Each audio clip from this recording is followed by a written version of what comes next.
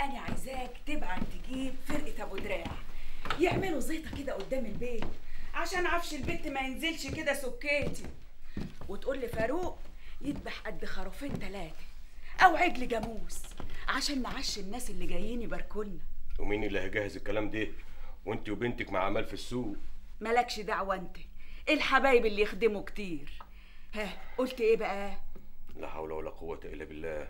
أنا ما عملتش حاجة من غير شهرة عمي. وهي يعني أمال هتقول لنا كده منها لنفسها ما هي أكيد شرط عليه. أسمع منه الكلام ده. اسمعه بوداني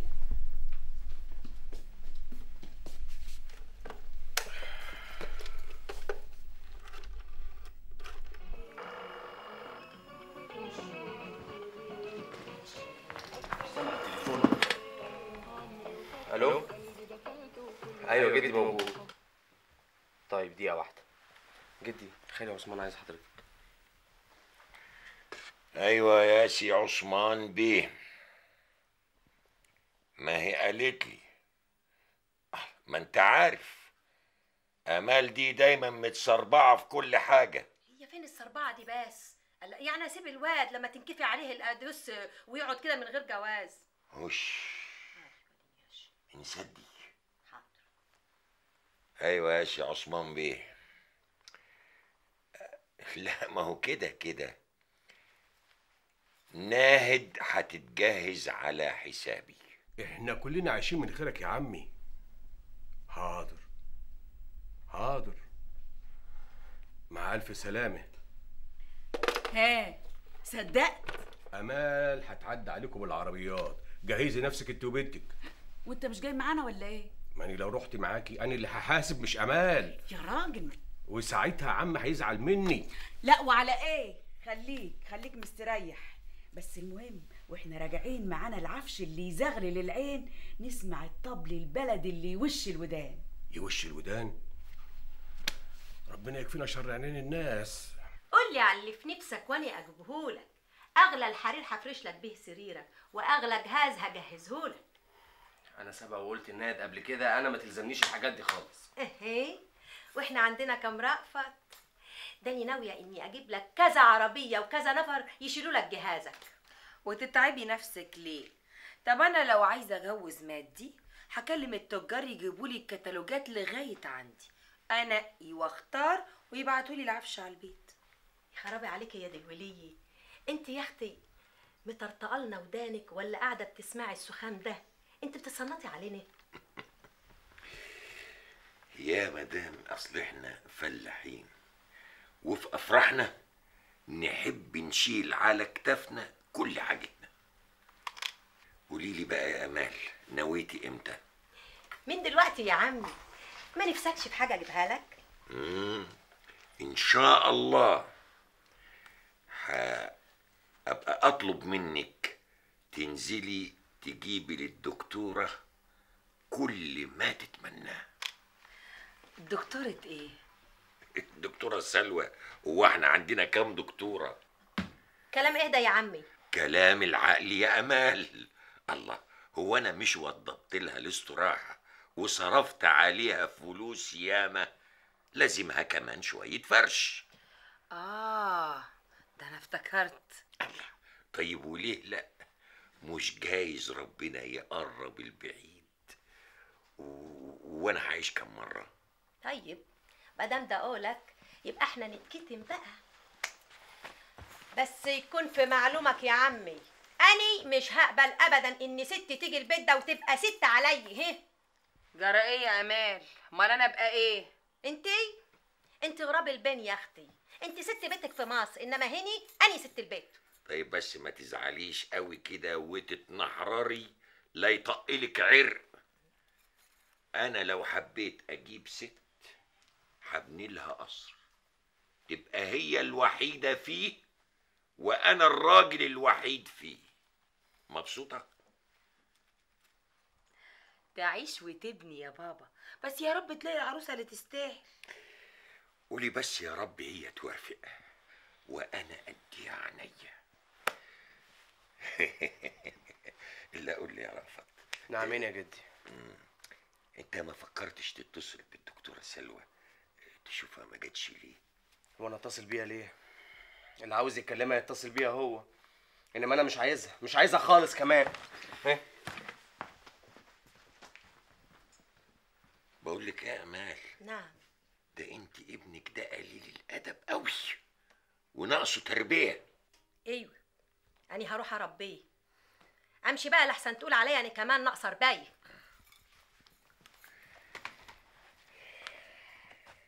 صحيح يا بابا انت ناوي تجدد شبابك؟ ليه؟ هو أنا عجزت ولا إيه؟ طب حط إيدك كده في إيدي إن ما كنت ألويها لك وأطبقها لك. على إيه؟ هو أنا مستغنية عن إيدي؟ حتى لو كانت إيد جوزك عاصم إن ما كنت كسرها له بعون الله. بقول لك إيه يا بابا؟ انت هتعمل إيه لو الدكتورة سلوى ما رضيتش؟ هتدور على عروسة تانية؟ عندك أحلى منها. الحلوين كتير بس كل حلو وليه تمنه. آه. بس حلاوة الدكتورة. مش في الشكل وبس في الشكل وفي الأخلاق. يعني لو اتجوزتها هتصون النعمة. وتصوني لغاية ما أموت. وهي هترضى بكده؟ هنا بقى عاوزك أنت بقى تقفي جنبي وتساعديني وتميلي لي دماغها. عايزك تفهميها اني أنا مستعد أدفع لها أي فلوس تعوزها. بس شرط واحد ما تطلبش حق الورث بعد الجواز إذا كانت الحكاية كده ده أنا عينيا ليك. يا عيني عليكي. يا مرات ابني فاضل حاجة واحدة بس تقوليها لجوزك يعتبرها صفقة تصدير وغرقت في البحر. هو يقدر يقول لأبوه تلت التلاتة كام؟ هايل.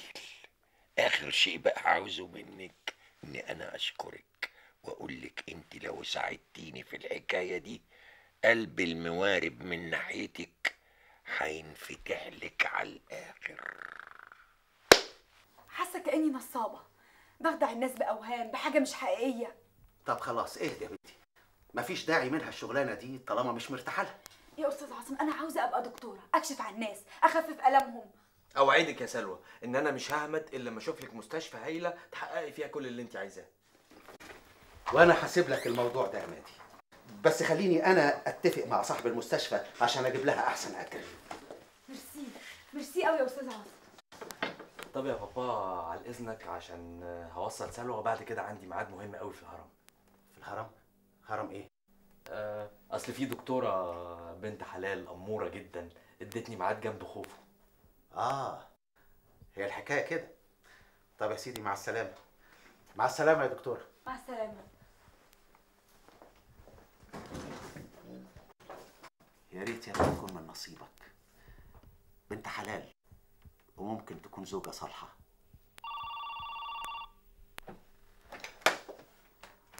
ألو؟ أيوه يا ألفت. بقولك إيه؟ شوكت كان عندي هنا وأنا بحذرك إنك تعملي أي حاجة من اللي قالك عليها. أبويا مش مسخرة يا ست هانم بينك وبين ابن خالك. ولو حصل الكلام ده. بطل بقى يا عاصم واسمعني كويس. أبوك بيخرف فعلا. ده طلب مني شخصيا أتوسط له عند الدكتورة سلوى عشان يتجوزها. أيوه الموضوع جد فعلا. يعني طلعنا من حفرة وقعنا في مطب. إيه؟ بتقول إيه؟ مادي عاوزها؟ هي إيه حكاية البنت دي؟ كل غروب بيمر على الاهرام وبالهول بيزود من عمرهم ويقلل من عمر اللي بيتفرج عليه. تمام. عشان كده بقى عايزك تغمضي عينيكي عنه وتبصي لي أنا شوية. اللي ما يبصش لماضيه وجذوره عمره ما يقدر يبني مستقبله أيوه بس لو الواحد قعد يفكر في الماضي ويبص له عمره ما هيعمل مستقبل. زي جدي الغرباوي دايما بيفكر في الماضي. ولولا بابا وماما كان ممكن كل حاجة تضيع إزاي؟ بنوا مصنع اللحوم ومزرعة المواشي في الوقت اللي كان جدي حابس نفسه في أوضته مع صورة بنته ناهد اللي بيقولوا ماتت عروسة. أكيد مامتك هي اللي قالت كده. صح. وبابا ما بينكرش. وأنت صدقت؟ وإيه اللي هيخليني اكدب أمي؟ المنطق والحق. شخصية عظيمة زي الغرباوي لا يمكن تكون سلبية بالشكل ده. والدليل على كده إن كل حاجة لغاية دلوقتي باسمه. يعني لو باباك اقترح أي فكرة تطوير هو مش عاوزها لا يمكن يقدر يجبره عليها. انت جبتي الكلام ده منين؟ من أخوك رأفت لأن رأيه في جدك عكسك أنت تماما. أهو رأفت ده بقى ابن جدي. جدي هو اللي مربيه ومعلمه كل حاجة لدرجة إن هو بيحس إن هو عمي مش أخوي. بس فكرة جوازه من بنت خاله عشان الأرض مش داخلة دماغه بص أرض جدي وكل أملاكه اللي في الغربية تحت إيد عثمان أبو ناهد وشيء طبيعي انه ممكن يلعب في الأوراق دي لمصلحة جوز بنت. لا لو يقدر يلعب ويزور في الأوراق كان عمل ده من زمان قوي لنفسه مش لجوز بنته. ومين قالك إن هو مش عامل كده لنفسه؟ ده غول. عامل حمل وديع قدام جدي إنما هو وحش. بياكل ميراث أبويا في السر وصعب جدا إن حد يقدر يكشفه. معاك حق. يبان عليها حرب باردة جوه عيلة الغرب بقول لك إيه تعالى ننزل العربية. زمان بابا وماما وحاتم رجعوا من اللفة بتاعتهم. لا لسه بدري. لفة الجمل حوالين الهرم بتاخد وقت طويل.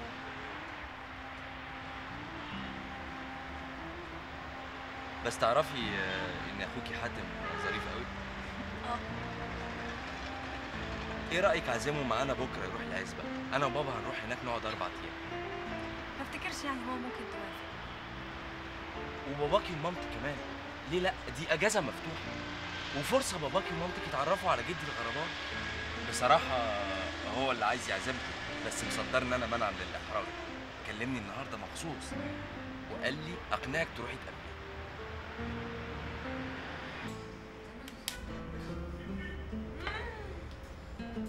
يا سعاد مالك لسه عندي دوارة جمل لأني لسه راكبة لحد دلوقتي. لحد دلوقتي؟ أيوه. طب ما تركني وتنزلي. مش راضي ينخي يا عاجبك عاجبك ده العمامة يا لولا؟ سيبها تدلع زي ما هي زي القمر. هي إيه؟ حكايه لولا لولا لولا. مش أنت اسمك سلوى؟ يعني تصدق ده حاجة غريبة فعلا.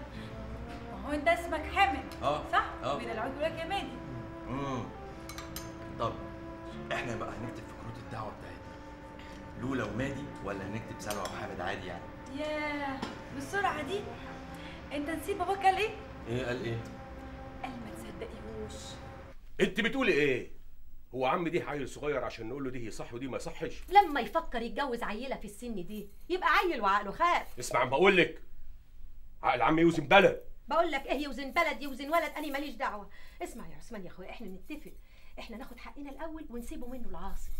إحنا ملناش حق عنده. ده ماله هو حر يعمل ما بداله.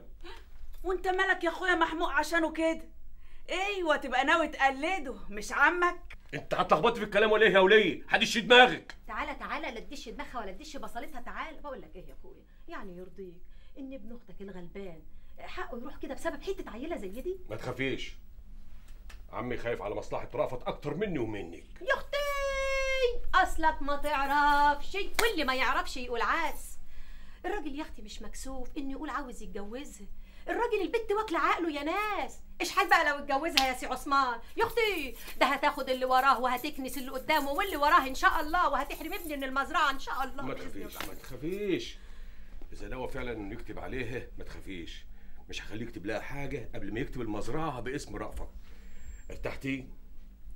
ارتحتي يا أختي؟ إن شاء الله ما ارتحتي.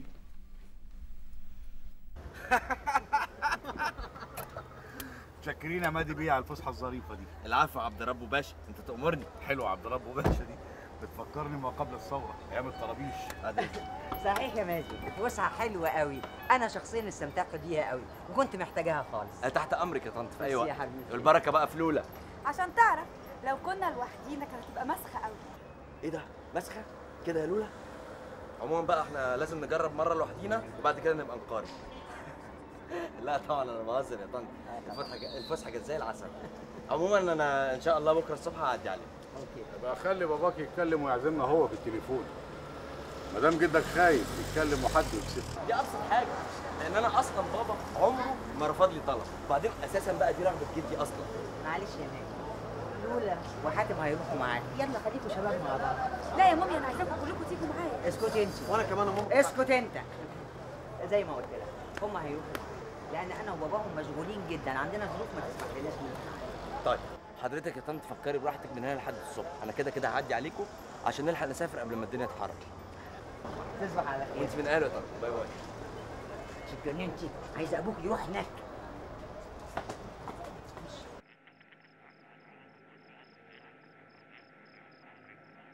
غبي. غبي وهتفضل طول عمرك غبي. إزاي تعزم سلوى؟ إحنا ما صدقنا نبعدها عن جدك. يا بابا وانت عايز تبعدها عن جدي ليه؟ إذا كانت ماما بنفسها هي اللي مكلماني وقالت لي عزامها هي وكل عيلتها عشان جدي عايزهم. حضرتك مش عايزها تروح ليه؟ مش مهم تعرف ليه. المهم إن سلوى بالذات ما تروحش هناك. اتصرف. هتصرف إزاي أنا دلوقتي بقى؟ إذا كنت اتصلت بيهم وعزمتهم. بس باباها قال لي إن حضرتك لازم تكلمه وتعزمه بنفسك. كمان بتحرجني مع الناس. يا بني آدم افهم. في ظروف وحاجات عيب أقول لك عليها. تمنع ان سلوى تروح هناك تاني. يا بابا بس إيه العيب فيها؟ مش عارف أقول لك إيه. حاجة تكسف. بصراحة بابا أنا أنا قصدت إن أنا أعزم سلوى وعيلتها كلها عشان نتعرف عليهم عشان أنا ناوي يعني أخطبها لو حضرتك ما عندكش مانع يعني. بجد يا ولد؟ آه طبعا بجد جدا. آه دكتورة و... وأمورة وأخلاقها حلوة وبنت ناس وأنا عاوز إيه تاني أكتر من كده؟ والله يا ريت يا ماتي أنا شخصيا ارتحت لها جدا وما عنديش مانع أخطبها لك من أبوها. بس المشكلة في جدك وأمك. ماما بقى مش من حقها تعترض لأنها طيرت مني ناهد. وجدي هيعترض ليه؟ لو كنتش واثق إنك قليل الأدب ولسانك طويل كنت قلت لك. لكن لكن هي فكرة كويسة. وممكن خطوبتك ليها تصحح أوضاع كتير. مادام حضرتك موافق؟ أنا مش مهم أعرف ليه. بس يعني حضرتك بقى تتكرم وتتكلم مع عبد رب باشا وتعزمه بنفسك. مين عبد ربه ده؟ ده أبو سلوى لولا. أه هكلمه وحضرتك تكلمه. ماشي؟ هطلع الرقم بس عشان مش فاكره. أوكي.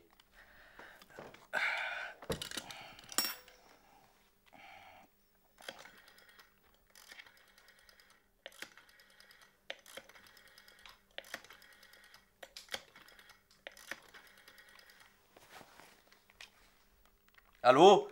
مساء الخير. آه أنا مادي أيوه.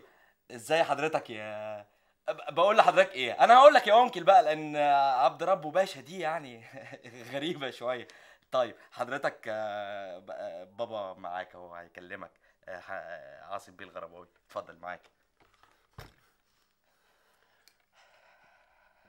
مساء الخير يا سعادة البيه. أهلا أهلا يا عاصم باشا. أظن كده تبقى مبلوعة. يا سيدي أنا حبيت أشكرك على رعايتك لبنت الدكتورة سلوى واهتمامك كمان لما ابن حاتم تاه. يا دي الفضايح. حد قال لكم إن أنا تهت؟ آه. معقولة؟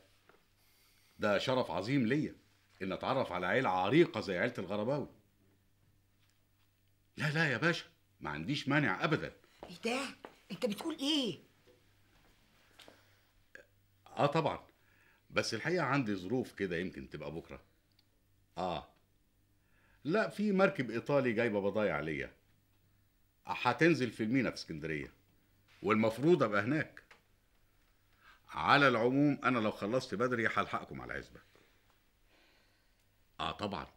ممكن قوي نتعاون مع بعض. أنا ممكن أصدر لك جميع اللحوم بتاعتك لأوروبا. آه. أوكي يا عاصم بيه. هنتقابل قريب إن شاء الله. مع السلامة. ياه وقعت قلبي في رجليا. اعملوا حسابكم. أنتوا التلاتة هتروحوا بكرة العزبة للغرباوي. وفهم ابنك الساذج ده إن اسمي عبد ربه. هاو يا جماعة. طب افرضوا حد شاف البطاقة بتاعتي لا اسمي بهجت. يا سيدي ما تاخدش معاك أوراق خالص. بابا أنا عايزه افهم حاجة انت إزاي بتجيب القدرة انك تكتب بالسوق سوري بابي واضح ان ابو سلوى ليه معارف كتير قوي في أوروبا. طبعا يا بابا بابا مش كان عنده مكتب استيراد تصدير هناك من زمان. بس أول مرة تختار البنت الصح يا مادي. بجد يا بابا؟ يعني راضي عني؟ ومتفائل جدا. وحاسس إن البنت دي هتخلق منك إنسان تاني خالص. بدليل إنك أول ما عرفتها ابتديت تهتم بشغلك. بصراحة بابا أنا حبيتها وأنا هجوزها لك يا ولد لأنها تستاهل تدخل عيلة الغرباوي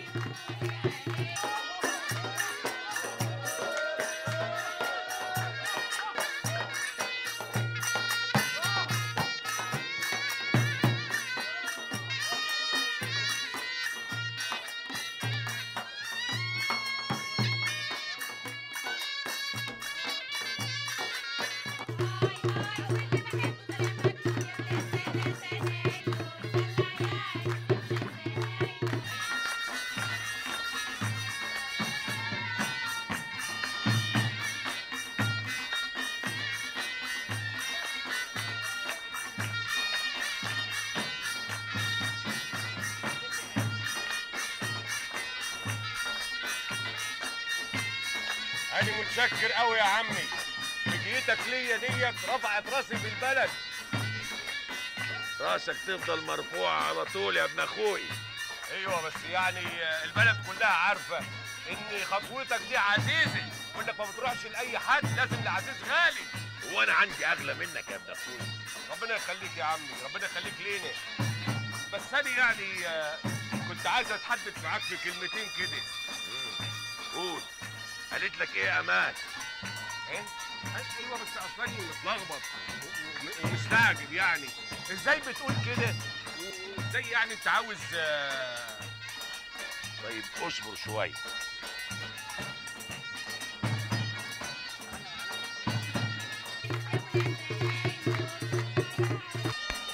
إيه يا رام نعمين يا جدع إيه يا ابني مالك؟ مفيش حاجة دي. بقول لك إيه؟ عثمان هيوصلني. أنا عايزك تفوق. عايزك تخش كده على الناس تهيص وتعشيهم عشوة كويسة قوي معاك فلوس. خير ربنا كتير يا جدع طيب. سلام. ألف سلامة يا جدع يلا يا عثمان. فهمت بقى يا عثمان. أنا قصدي إيه؟ أنا غرضي أضرب عصفورين بحجر واحد. أول هام سلوى لو كانت بنت ناهد صحيح لا يمكن هتوافق أو تقبل مهما أغرتها بالمال والأملاك. طبعا. لا يمكن تتجوز جدها. تاني هام ان أنا أبعد نظر ألفت وعاصم عنها وأوفر لها الحماية قد ما أقدر لحد ما الحقيقة تبان. ربنا يكملك بعقلك يا عمي.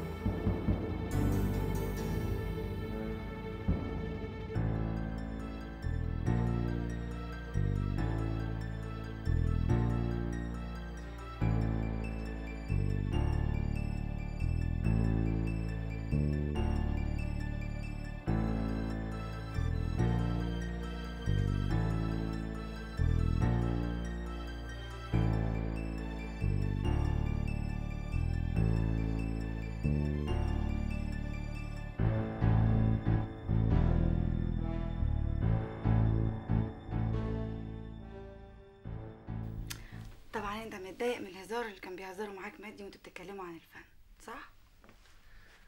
مادي مين بس اللي هزعل منه؟ مادي ده بني آدم وسط 100 بني آدم. حاولت أتعرف عليه علشان يحصل ما بيني وما بين أي حد هارموني عشان أعرف عادات وتقاليد مصر أكتر. لكن في الآخر اكتشفت إن أنا من كوكب تاني. ادخل. مساء الخير يا ولاد. مساء النور اتفضلي. إيه ده يا حبايبي؟ أنتوا لسه ما نمتوش؟ نعمل إيه بقى؟ بندردش مع بعض شوية. أصل الأستاذ حاتم مش عارف ينسجم مع حياته هنا في مصر. والله ولا أنا. بس نعمل إيه بقى يا بنتي؟ خلاص ما نقدرش نرجع إنجلترا تاني. يبقى لازم نتأقلم مع حياتنا هنا هو. أيوه ماما بس أنا زهقت من لف في الشوارع من غير هدف. يا حبيبي كل الحكاية إن أنت بتفتقد أصحابك وفي نفس الوقت ما عرفتش تعمل صداقات جديدة مع إن الشعب المصري ده هو أسرع شعب ممكن تصاحبه. زي ما بيقولوا شعب عشري. هو كده يا mommy مستعجل على كل حاجة. أيوه مستعجل على كل حاجة. زي ما أنا دلوقتي مستعجل إن أنا أخش أنام. محدش ضامن. مادي المجنون هيجي الصبح يصحينا الساعة كام؟ كنا إيه good night تصبح على خير يا حبيبي. آه. آه. آه حاسة إن جسمي كله مكسر. على فكرة الجميل شكله مش طبيعي خالص النهارده مش عارفة ليه. والله قلقانة عليك يا حبيبتي. حاسة إن أنت لو ما كنتيش بنت بهجت كنت يمكن عشتي حياة تانية مستقرة أكتر من كده. كنت قابلتي شاب جميل زي مادي كده هوت واتجوزتيه وعشتي معاه في سعادة طول عمرك. ويمكن كنت أخدتي أكتر من الميراث اللي كنت هتورثيه عن أمك. لا يا مامي لا مادي صعب صعب قوي ما ينفعش. ليه يا حبيبتي؟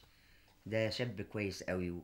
وأنا حاسة إن هو بيحبك وهيساعدك لا يا مامي مش مش عارفة يعني بحس إن هو عيل صغير كده. بالظبط بالظبط زي أخويا حاتم. طيبته وتلقائيته وسذاجته. لا يا شيخة لا ما أظنش لا. على كل حال يا بنتي ده الموضوع ده يرجع لك انتي بس برضو فكري. مش عارفة. عندي إحساس كده هوت إن هو ممكن يخطبك من ابوكي إزاي؟ ما أعرفش. آه المهم أنا يعني كنت جاي أسألك عن يعني عن فريال الشغالة. إيه يا ماما انت بتشكي منها في حاجة ولا إيه؟ أنا سامعاكي اتكلمي. يعني يا حبيبتي الشغالة دي عاشت معاكي هنا هو لما كنت عايشة لوحدك. وبعدين إحنا لما جينا مشيت ورجعت ومشيت ورجعت من غير أي تبرير منطقي للحكاية دي. وبعدين مش عارفة كده بحس بطريقة أبوكي في معاملتها حاجة كده بتنرفزني من جوايا مش عارفة إيه الحكاية بالظبط. قولي لي حبيبتي هو انت تعرفي عنها إيه بالظبط؟ ولا حاجة يا ماما يعني ست مسكينة ظروفها صعبة بس. أيوه حبيبتي أنا عارفة إن ظروفها صعبة. مصدقاه بس للأسف بقى مش مصدقة أبوكي. مش عارفة حاسة كده كأنه كأنه يعرفها من مدة طويلة قوي. وإنه بيخاف منها وفي نفس الوقت بيكرهها. مش عارفة مش عارفة عايزة أفهم إيه الحكاية بالظبط. هو كل ما في الأمر إن باباها له جميل في رقبة بابا وطبعا بابا حاسس بالذنب ما بين ظروفنا وما بين الدين اللي في رقبته. دين؟ أيوه يا ماما باباها ساعده في المصاريف أيام الجامعة لحد ما اتخرج وتوظف كمان. وشيء طبيعي يعني بابا يعتبره جميل في رقبته. جميل؟ وأبوكي بقى من النوع اللي يشيل الجميل طول السنين دي؟ لا يا حبيبتي. مش بهجت. قصدك إيه يا ماما؟ ما هو يعني حاجة غير كده تبقى مستحيل. والله يا بنتي أنا ما بقيت عارفة إيه الحقيقي وإيه المستحيل. المهم تصبحي على خير. إيه ده انت هتنامي هنا؟ على طول. عندك مانع؟ لا طبعا ده شيء يسعدني. بس هيتعس بابا جدا. ما أنا لازم أعرف آخرتها إيه. وبإذن الله من هنا للصبح ارسيلي على بر.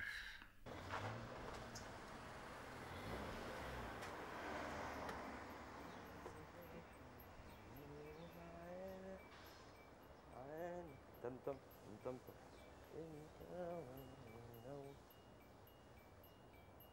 ألو.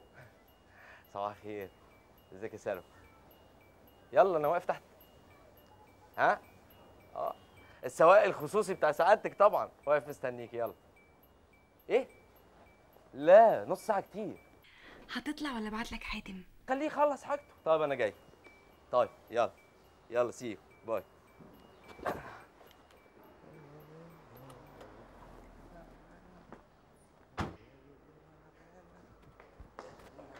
أهلا وسهلا سعاده البيه منور يا بيه نورة انت اسمك إيه؟ عمران يا بيه. خد يا عم عمران.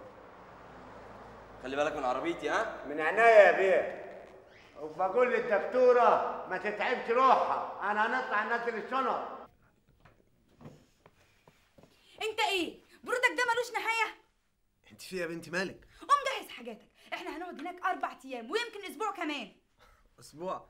طب انت شايفة ال hand bag الصغيرة دي؟ دي فيها حاجات تكفيني لمدة شهر.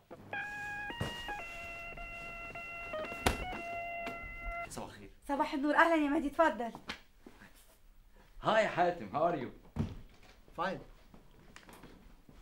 اتعدل. هم. تشرب إيه يا مادي؟ آه لو لازم يبقى نسكافيه black من فضلك. okay ماما بتعمله حلو قوي. خمس دقايق يبقى عندك عن إذنك. هو بتعمله حلو قوي. ده هتعملوا لك نسكافيه blue. إيه؟ have a seat thank you إيه يا حاتم؟ شايفك مش مبسوط من الرحلة؟ أنا am very interesting أنا عمري ما شفت اسمه أنتوا بتسموا الكانتري عندكم بتسموا الريف. هي دي بالظبط. أنا عمري ما شفت الريف المصري خالص ففرصه إن أنا أشوفه. أمال مالك؟ في عادي مفيش حاجة. على فكرة لولا بتقول عليك ممل. بس أنا بقى شايفك ممتع لو بطلت الملل.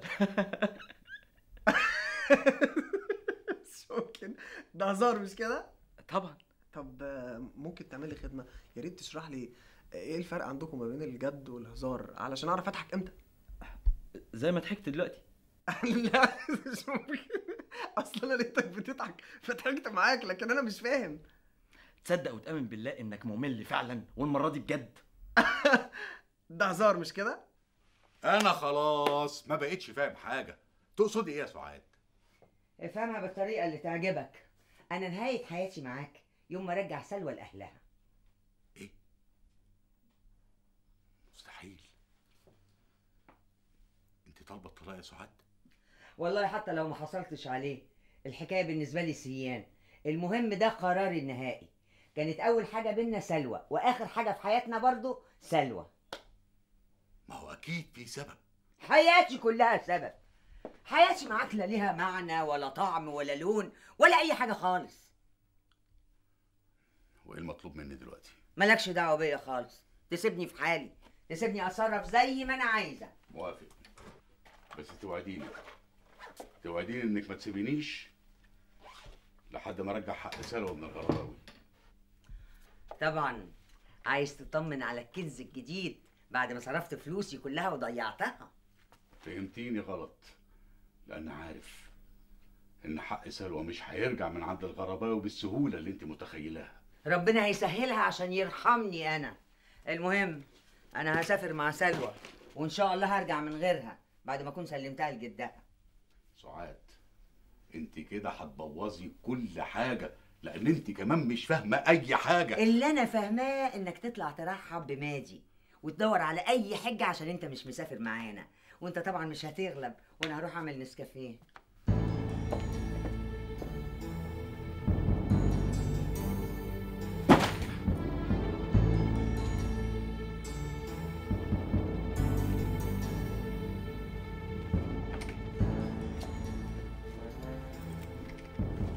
خدي يا حبيبتي.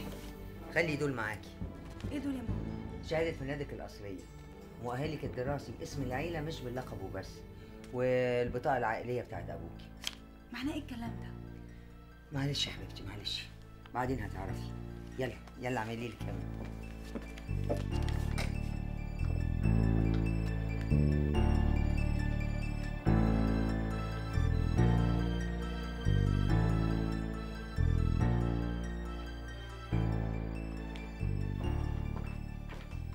أهلا. أهلا أهلا يا مادي أهلا يا uncle. How are you fine thank you اتفضل. سي شوف يا مادي أنا عايزك تدي لبابا صورة الفاكس ده. ده من شركة توزيع أغذية في فرنسا. wow. ده عرض أسعار. عرض أسعار خاص بشركات لحوم الغرباوي. وفي كل الأسعار. اديه لبابا لو وافق على الأسعار ديت يبعت لهم فاكس بانه موافق. وأنا هعرف بعد كده منهم الكميات المطلوبة. سوبر يا uncle. ده أنا لسه مكلمك امبارح بالليل. يا ابن العالم كله بقى قرية بضايع صغيرة والناس دي بتثق فيا جدا. بمجرد ما بعت لهم امبارح ردوا عليا الصبح. طب إزاي يا بابا؟ وإمتى؟ وإحنا كنا فين؟ إيه الغرابة في ده يا لولا؟ الفاكس موجود عندي وأرقام شركات أوروبا كلها موجودة عندي. تبقى فين المشكلة؟ perfect يا uncle بابا هيمسك فيك بإيديه واسنانه على فكرة أنا عارف إن الصفقة دي أرباحها هايلة جدا. ولازم بابا يعرف كمان إنهم أكرموه عشاني. بابا بيزنس مان ما حصلش. آه بالمناسبة يا ماجي أعتذر لبابا على إني مش هقدر أروح أشوفه لأني مشغول شوية اليومين دول وأقول له طبعا إن أنا متشوق للرؤيه وده هيحصل قريب قوي.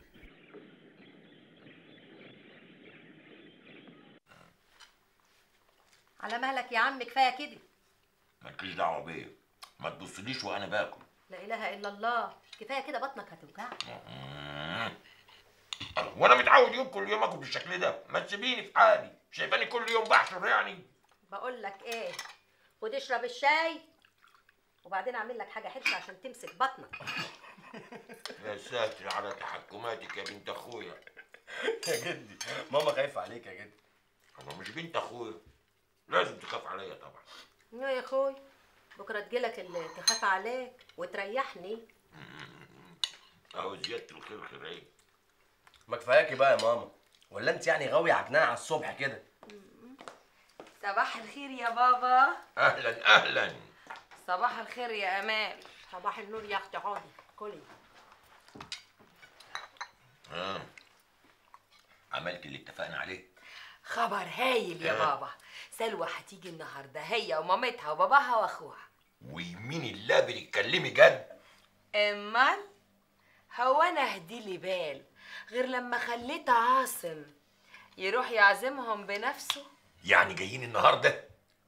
لو مش مصدقني كلها ساعة ولا اتنين ولا تلاتة وتلاقيهم قصاد عينك. ها ليا الحلاوة بقى ولا لأ؟ يوه مصنع الحلويات بحاله. بقول لك إيه يا أمال؟ النهارده إن شاء الله يندبح عجل. ولا خروفين. ما تحملش هم ضيوفك. أنا ناوية إن شاء الله أرحب بهم على مزاجي. إيه أنا في ديك الساعة. لما عروسة سيد البلد أنا بنفسي أرحب به. ما كفاياكي بقى يا ماما. ولا انت غاوية يعني تحرقي دمي على الصبح؟ ولا رأفت بيه إيه رايح فين؟ رايح على المزرعة؟ هو أنا ليا مات وغيرها يا جدي؟ طب اسمع بقى أما أقول لك. مرة تانية ما تنفعلش قوي كده. كل ما نجيب سيرة سلوى وإلا مش هيحصل لك طيب. آه يا رأفت. أصل سلوى هتبقى ست البيت الجديدة. اطمني يا طنط. اطمني يا جدي. أما تيجي إن شاء الله هبقى أقول لها يا ستي. ما هو اللي تتجوز جدي أقول لها يا ستي. على طول. طيب بس ما تقاطعش. جايز ما يوافقوش. ده مين ده؟ ده لما يجوا ويشوفوا العز والفخفخة دي كلها مش ممكن ابدا يرفضوا. انت يا ولية انت أنا عايزة أفهم يعني. انت انت بت... بتكديني ولا بتكدي نفسك؟ أنا ما بحبش خناقات الحريم. اتلموا أنتوا الاتنين أحسن لكم. ولا يا رأفت بيه. أيوه يا جدي. خدني معاك الجنينة. حاضر. وانت يا امال اعملي القهوة وابعتها لي بره تعالى يا جدي تسند عليا. خدني معاك.